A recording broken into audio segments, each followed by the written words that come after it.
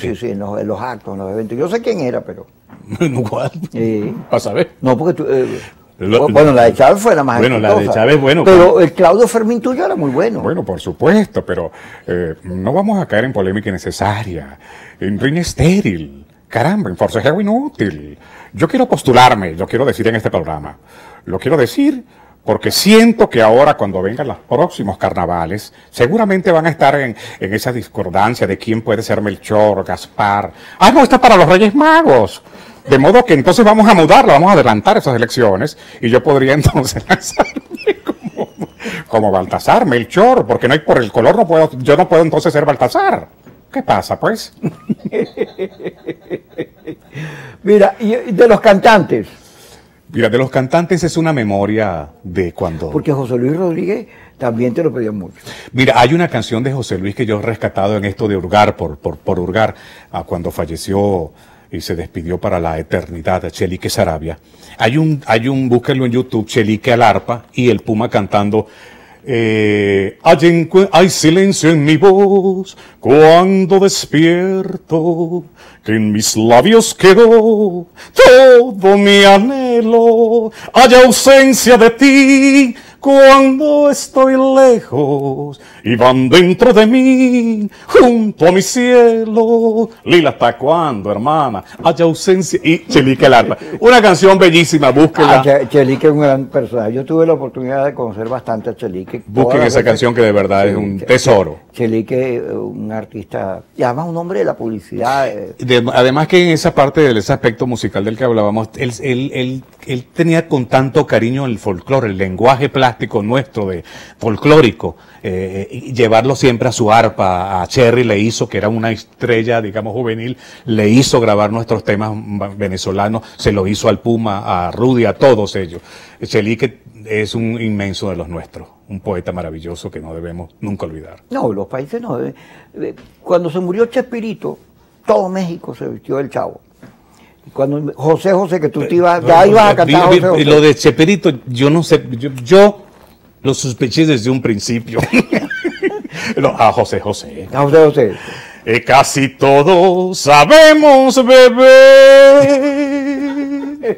pero pocos no sabemos tomar. Que tomar y beber, pues no es igual. Beber es sentir, pues tomar es tragar. Oye, vamos a aprovechar para brindar por, los- por las ánimas benditas, ¿vale? ¿Eh? Tan simpática la cosa. Mira, Sadel. ¿Tú imitas a Sadel? Pero no es que le imito, yo lo que hago es, tú sabes, tratar de recordar cosas, porque cuando la radio estaba de moda, yo, yo Sadel, fíjate, lo sitúo cuando mi papá se nos montábamos en el carro y él, esta es una regalía musical de Venezuela, la de Alfredo Sadel, y después los números de las loterías. Claro, los radios se desintonizaban, entonces, eh, eh, son tus cartas, mi esperanza, mis ah, eh, dos bolas, dos strikes, eh, neveras, cositas, y aunque sean tonterías, escribe, entran en la recta final, se ven encima la gente, escribe, eh, eh. Por cierto, una de las cosas que yo, eso me acongoja, me preocupa y predispone, y aunque sea con borrones, y ahora hipódromo Rinconada. Ay, mira, de los personajes eh, más fáciles de imitar está Caldera. Porque a Caldera basta con... Yo me acuerdo que cuando yo salía en las giras contigo y con, con que estuve varias veces, Laureano nada más hacía así, ya era Caldera. No, pero maravilloso. Tú sabes que cuando se me llamaron a hacer lo de la reconstituyente, nos reunimos por primera vez en el, en el teatro Amador Bendayán, el gigante Amador Bendayán. Gracias, Venezuela. En el teatro Amador Bendayán. Y yo subí unos dos, tres eh, de, la- de, la- de las sillas a ver el primer ensayo. Y entonces el señor Ceruti, estaba Francisco Martínez y Eduardo Vegas, eh, chéverísimo, Bebito.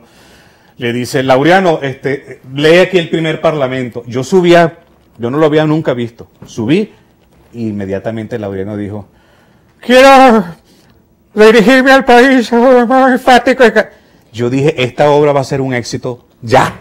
Porque la impresión que me dio de ver a Laureano en esa, en esa postura fue determinante. La verdad que lo, lo, lo, lo tuvo.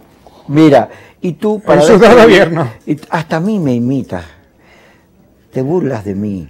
Sí. Claro, pero que no es que me burla, sino que, bueno, eh, eh, eh, están los, opositores, los que ven el control, los que ven los marines. Pero esas cosas también, eh, eh, hay que analizarlas, hay que analizarlas con, con, con serenidad. El hombre está de psicosis, esto es una cosa de psicosis.